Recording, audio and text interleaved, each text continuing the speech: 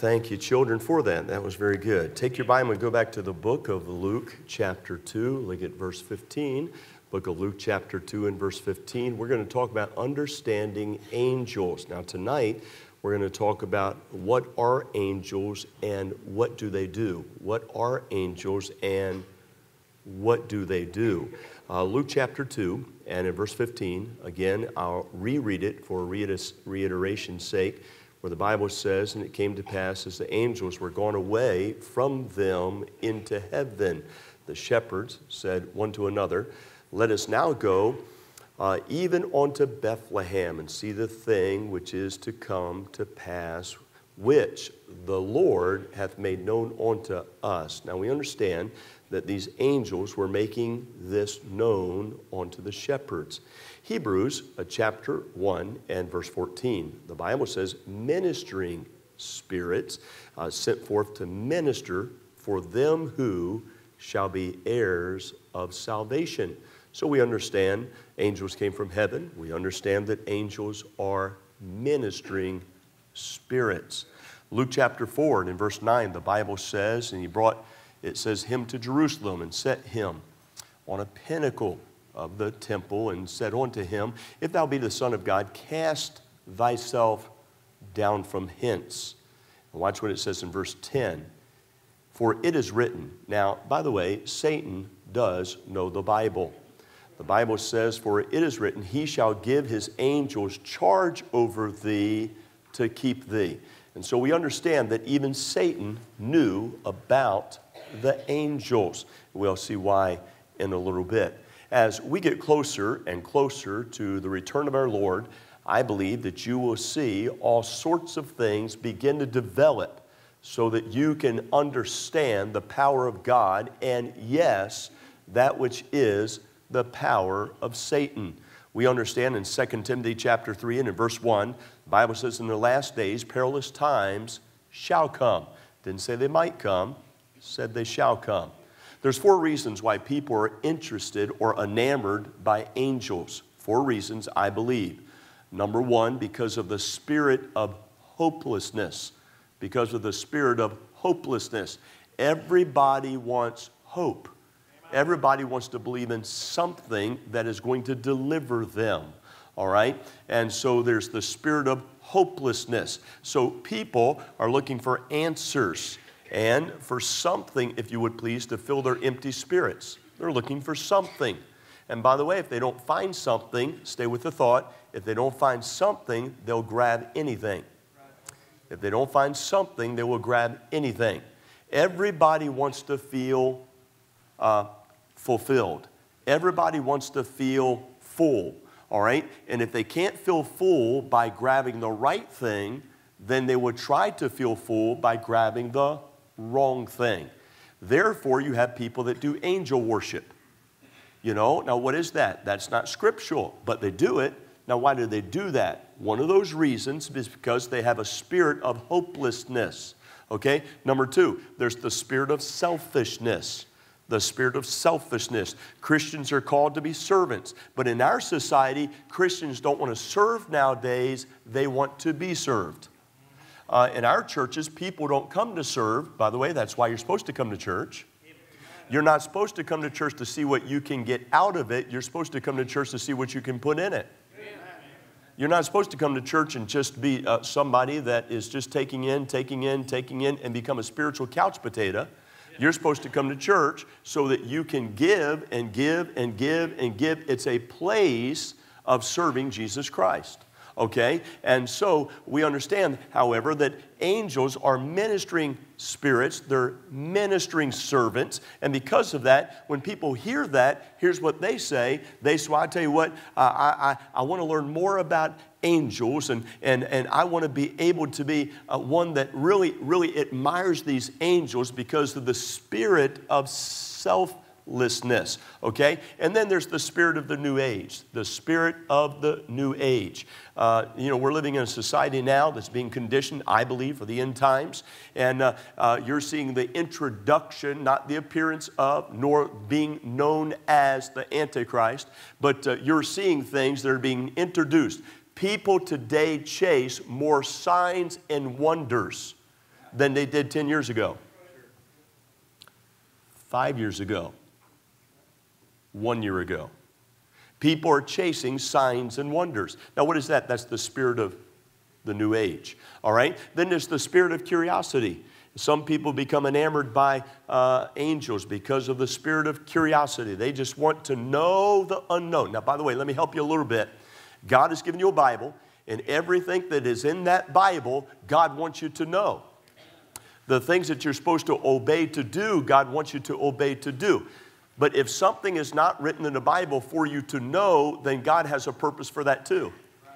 There is no spiritual significance to the knot holes in Noah's ark. So, if there's no spiritual significance to the knot holes in Noah's ark, then why waste time to study it? See, the Bible says that we're supposed to study to show ourselves approved. Is that right? All right, so I'm supposed to study. All scriptures given by inspiration of God and is profitable for what? Doctrine, first off. Okay? And so I'm supposed to study. Uh, children are passed, uh, uh, thrown, the Bible says, uh, to and fro uh, by every, or to and fro by every wind of doctrine. Now, why is that? Why are they blown about? Uh, by a wind, if you will, by every wind of doctrine. I'll tell you why, because they don't know doctrine. All right, and when we know doctrine, then we will be able to make doctrinal decisions. Over in Revelation chapter 12 and verse 4, the Bible says that uh, his tail drew a third part of the stars of heaven and cast them to the earth. Okay, and that's talking about how the dragon did that. Now, that's a picture of Lucifer. Over 300 times in your Bible does the Bible teach about angels that aid and help the saints. So, over 300 times in your Bible, you will see uh, that which is an angel or a collection of angels that are gathered to be able to aid and to be able to help the saints. God provides, if you will please, angelic protection to children. Let's get into our Bible study a little bit. Matthew chapter 18 and verse 10. The Bible says, says Take heed that you despise not one of these little ones, for I say unto you that, it, that in heaven uh, there are angels. In heaven, there, who's, who's angels? They're angels. So children do have angels, protective angels. You say, I always heard about that, I just don't know if it was true. Well, there you go. Now you know it's true okay? Uh, the Bible says that these little ones, for I say unto you, that in heaven their angels do always behold the face of my Father which is in heaven. So, uh, why has God given us angels? Well, we understand this that angels were given because they are ministers of that which is the heirs of salvation. So, they're ministers to God's children. They're ministers to those that believe. They're ministers to the saints. What's ministers mean? Uh, that, that word did not originate in a Methodist church, by the way. It originated in your Bible. Ministers, what does it mean? It means that they are servants. Brother Palmore, I never will forget it. I never will forget it. As long as I live, I will never forget it. And uh, we were down, I think it was the VA hospital, if I remember correctly. It was the VA hospital, VA hospital, and we're down there. And I pass out tracts a lot. And so I saw all these people sitting over there in the waiting room. And so I went over there and I started to pass out tracts. And uh, this one lady seemed kind of keenly interested. And so I knelt down and uh, began to show her how to be saved. And the policeman came. And they, you know, they thought I was doing something bad, I guess, you know, and they started circling on the interior of that room. Now, these were undercover policemen. And, and I guess they thought that maybe I was a hood or something. I don't know. Uh, uh, he may look like a hood. I didn't think I looked like a hood. But, uh, but, but so, so, you know, and so, uh, you know, he saw that they were kind of antsy you know, because here I am, I'm going around kneeling down with all these people, you know. And so uh, Brother Palmer went over and in his uh, very, very unique way, uh, he stilled, their, stilled them a little bit and he said, Now look, he said, We're ministers.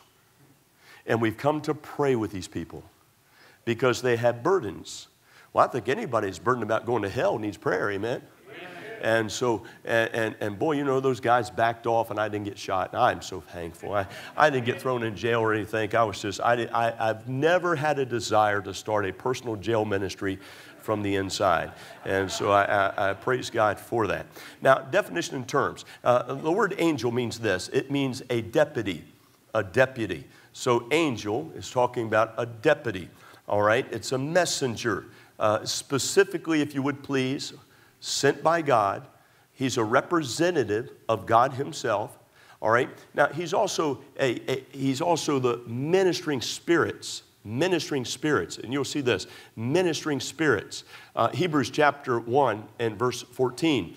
Bible says, and, uh, and are they not all ministering spirits? It says, sent forth to minister for them who shall be heirs of salvation. All right, so they've come to do what? Minister. Minister. They've come to serve. That's what that means. All right, by the way, you'll find that the Apostle Paul said that he was a servant. You'll find that James said that he was a servant. You'll find that uh, different ones of the disciples, they said a servant of Jesus Christ. It, you know, and you and I are called to be servants. Our Lord Jesus fashioned himself as a servant all right? And so you and I are supposed to be servants, all right? And so we understand that angels, even, even those of the highest order, are employed by the Creator to serve those who serve, who believe and serve Jesus Christ. All right? So, so they are working for God on your behalf. Angels are working for God on your behalf. Okay?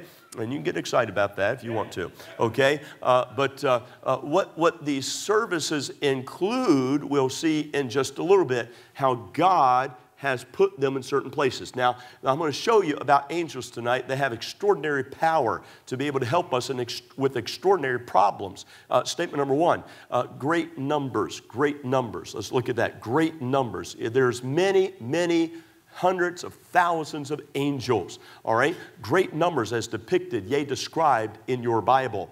Uh, you'll see that the, the, the devil uh, would, uh, uh the devil would have us to believe uh, that we're all alone. You're not alone. When you sleep in your room at night, you're, there's, there's angels that are abiding by. Do you understand that? You know, when you say, well, I tell you what, you know, my, my little child, my little child, I'm, I'm worried about my little child going to the mission field. Well, don't you think they'd be safer under the protection of God in the will of God than out of the will of God and not under the protection of God? Okay, all right. Now, and so they have extraordinary powers. Okay, they have, statement number one, great powers. And, and, the devil doesn't want us to believe that. He wants us to believe that we're all alone. In 2 Kings chapter 6 and verses 14 through 17, one of my favorite, favorite uh, uh, Bible recordings here is the fact that there's the passage about the servant of Elisha. The servant Elisha was scared. He saw a great host of the Assyrian armies that was gathered together. And you remember how, uh, how the man of God had insight that the Assyrians was going to attack the Israelites. He gave them warning. Now the Assyrian uh, leader, along with the Assyrian army, had decided we're going to go get even with that man of God. We're, we're going to go get him. We're going to get even. And, the Bible talks about how that Elisha prayed, and he said, Lord, I pray thee, open uh, his eyes that he may see. And the Bible says that when he opened his eyes, that young man saw that the mountain was full of horses and chariots of fire.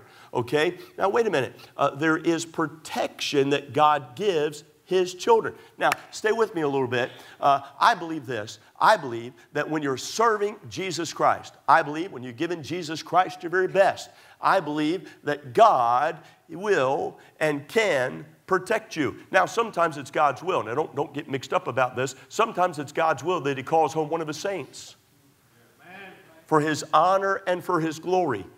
That's why we have to be totally surrendered to the Lord. That doesn't mean that you ought to be foolish in the things you do. Well, preacher, I believe God's going to protect me, so I'm going to step out in front of a Mack truck. No, that's an act of foolishness. That Mack truck is going to run you over and think nothing about it. You don't need to be a grease spot for Jesus, you need to be a light for Jesus. All right? And so there's other incidences in the Bible where angels are seen in the Bible. Revelation chapter 5 and verse 11, the Bible talks about that there's the number of which is 10,000 times 10,000. Revelation chapter 5 and verse 11, the Bible says, and, and I beheld and I heard the voice of many angels round about the throne, and, and the beast, and uh, the elders, and the number of them was 10,000 times 10,000 and thousands of thousands. And so you see that God specifically puts a number on them. Uh, in Hebrews chapter uh, 12 and verse 22, the Bible speaks that they're innumerable. Innumerable. Okay? Uh, Hebrews chapter 12, verse 22, the Bible says, But ye, it says, are, are come unto Mount Zion. The Bible says, and unto the city of the living God and the heavenly Jerusalem. And it says, and to an innumerable company of angels. So there's so many of them that they were not numbered at that time. So God is not going to run out of angels. Okay? So they have great numbers. Statement number two, they have great speed. Great speed. Angels have great speed, okay? Uh, angels are able to move very, very quickly. They're able to be able to rescue very quickly or do whatever they need to do very quickly. Uh, he, uh, the book of Luke, chapter 10 and verse 18, the Bible talks about how, uh, how we see here that uh, it talks about uh, that which is uh, Satan, and it says, Beheld Satan as a lightning fall from heaven. Like, we, we were heading home the other night. Remember, we had that bad storm? We had a bad storm. We live in Forney, uh, and uh, we're heading home. Uh, uh and uh, and uh, no, it was I don't know if we're heading home from church or where, but we were coming home somewhere. And my wife was with me, and we were riding along, and right beside us on the left was a huge mammoth Watt. I'm just talking about a, a, just lightning. It just boom, like, as close as I've ever been to lightning in my in my in my life closest I've ever been. I had to come to Texas just to get close to lightning. And, uh, and, uh, and, uh, and uh, uh, it's funny, I preached a, uh, a meeting in, in, in, in, another state. And I preached a meeting in another state, and they advertised, Come here, Dr. Wells. He's the Tennessee tornado. And I thought, I'm not from Tennessee. What, where am I? I'm from Texas, you know? And, well, anyway. And so great speed, great speed, okay? Uh, you know, uh, so, so we, we know that, that heaven is light years away. Now understand this. We know that heaven is light years away. And yet Satan is able to appear as light from someplace, if you would please, as he would go, I believe, before, as you'll see later in our Bible study. Remember how he appeared before the Lord? Remember how he appeared before the Lord and he would uh, talk to the Lord about Job, and, uh, and uh, God said, You can't kill him. You just can't kill him. All right? Now, understand this. So, Lucifer, being one of the angelic beings, shows the speed in which angels can travel and it's no, no, matter for what purpose. Matter of fact, over in the book of, this is neat, you'll see this. Over in the book of Daniel, chapter 10, verses uh, 12 and 13, you'll see that an angel was 21 days late to be able to minister to Daniel, and he apologized. He apologized for being late. He's 21 days late. Okay? So angels do understand time. You know, it's very obvious that God assigns his angels to specific jobs. It's very obvious that God uh, sends his angels for specific help to specific people. All right? And they have great speed in being able to do that. Then you see statement number three there's great knowledge there's great knowledge. Uh, second uh, Samuel chapter 14 verse 20, the Bible says, and the Lord is wise concerning the wisdom of an angel of God, says to know all things that are in, watch, what the, watch it now, that are in the earth. Specifically, that are in the earth. All right? And so we understand that angels, although very intelligent, they do not possess all knowledge. Now they know all things in the earth. Didn't say nothing about heaven. Didn't say anything about the heavens. Talked about the earth. God specifically puts things in the Bible to make us to understand specifics. All right? So angels, although they're very intelligent, They do not possess all knowledge. Matter of fact, in Mark chapter 13 and verse 32, the Bible talks about the coming of the Lord, and it makes it very clear that the angels don't even know the coming of the Lord.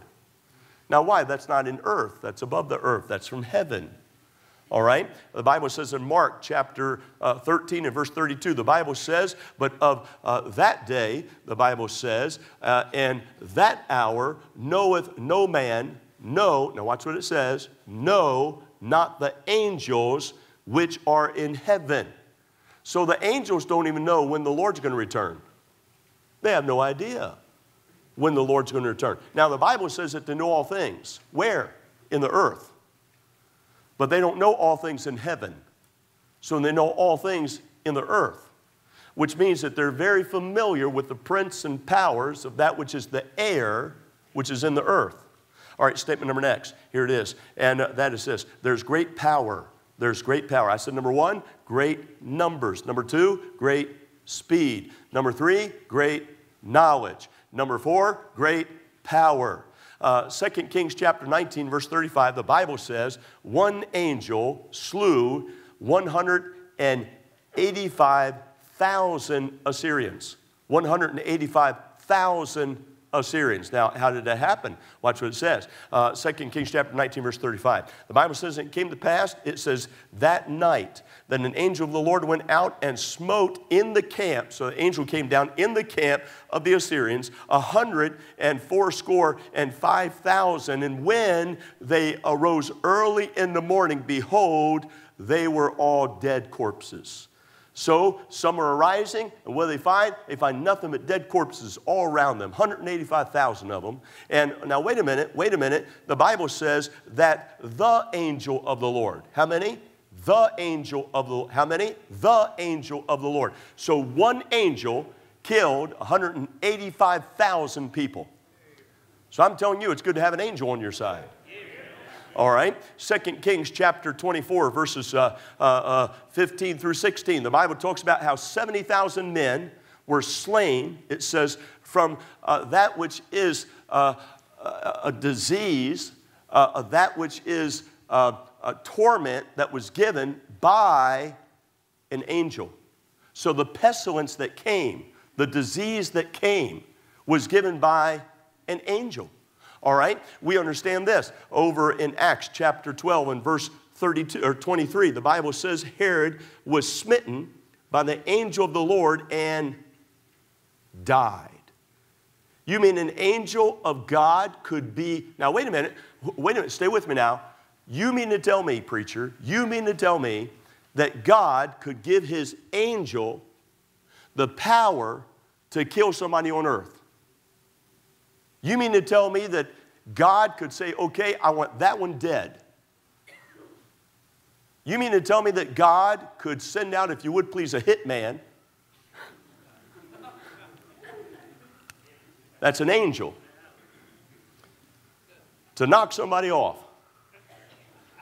Well, the Bible says that Herod was smitten by an angel of the Lord and died. Died. Now, okay, let me help you a little bit because we worked all day and we're just downright tired. I know it. I see people praying. And uh, now, now, wait a minute. Can, let, me, let me get your blood running just a little bit. Let me help you out just a little bit. A little bit, okay? Uh, God can send an angel to open the doors of a prison. God can send an angel to smite somebody. God can send an angel to kill 185,000 Assyrians. God. Do you understand who we're talking about? We're talking about God. Amen. So, so uh, you know, these Christians say, well, I tell you what, I can't live for God. After all, we've got so much opposition out there. I'm just afraid. Oh, what are you talking about? You've got all of that which is at heaven's disposal if you'll simply obey God. Problem, we got a bunch of panty waist Christians that don't obey God. And so I tell you what, I can't go soul winning because I might get in trouble. Go get in trouble. If you get in trouble obeying God, God is going to bail you out. You say, what if he chooses not to? Then you would have got in trouble anyway. Come on. Well, I can't give somebody a soul winning plan of salvation because if I do, they'll get mad at me. Well, you take and give them the soul winning plan of salvation and you let them get mad at you, but you do what you're supposed to do. Don't, don't get upset at God. Well, I'm just afraid. I'm just afraid. I'm just afraid. Somebody's going to kill me. Okay, so what are they doing? They're threatening you with heaven.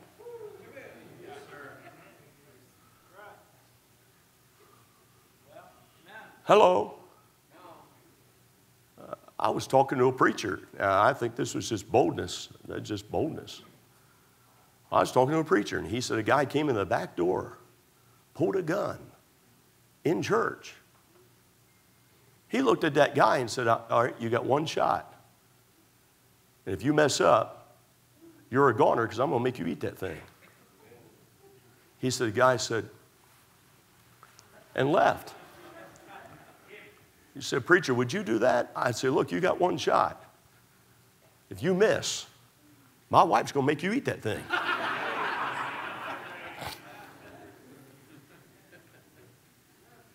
but can I tell you, listen to me. Uh, do, do you realize I think man fears way too much? I think we fear way too much. I think we ought to be like a Daniel in a lion's den. I do. I think you ought to be like a Shadrach, Meshach, and Abednego in the burning fiery furnace. I, I think you ought to be somebody that takes your faith and uses it to the degree that God expects you to use it. Watch this, there's great power. And uh, we see this, and I'm getting ready to close. Uh, we see that Herod was smitten by an angel. Well, let me give you the Bible verse. Uh, Acts chapter 12 and verse 23, the Bible says, And immediately the angel of the Lord smote him. It says, Because he gave, listen to it now, because he gave not God the glory and he was eaten of worms and gave up the ghost. Now, watch the order. First, he was eaten with worms, then he gave up the ghost. That's not a good way to go. How'd he die? Worms. Statement number next uh, angels have power over human laws. Angels have power over human laws. So I want to agree with some of the laws that we make. Well, God's not done yet. God's not, now I'm mad about this. God's not done yet. God hadn't rolled over and played dead. He knows exactly what's going on. All right. Uh, angels uh, entered and un- unlocked the, unlocked the, uh, and locked the, uh, unlocked the prison, if you will, please, and delivered, entered into the prison, locked prison, and unlocked Peter and set him free. Uh, Acts chapter 12 and verse 7, the Bible says, And behold, an angel of the Lord came upon him, the Bible says, and, and a light shined, it says, uh, in the prison, and he smote uh, Peter on the side. Now, Peter wasn't worried, he's snoring. Oh, you know, Peter, poor Peter, thrown in prison. He's snoring. He's dreaming of, I don't know, corn butter or something. I don't know. Cracker barrel food. I don't know. And he smote Peter on the side and raised him up, saying, Arise up quickly. Says his chains fell off from his hands. All right? And so, uh, you know, these angels have the power to be able to go into locked prisons and to deliver. Okay? Oh, you say, I don't believe that. Well, I do. All right? Angels can open prison doors. Acts chapter 5 and verse 19. Acts chapter 5 and in verse 19, you say, I don't believe all this was many, many years ago. By the way, uh, you ought to hear some of the stories I've heard from some of the older men that fought in World War II. You ought to hear some of the uh, stories that I hear uh, about people being delivered on mission fields. Oh, yeah, God is very much still alive. Thank you.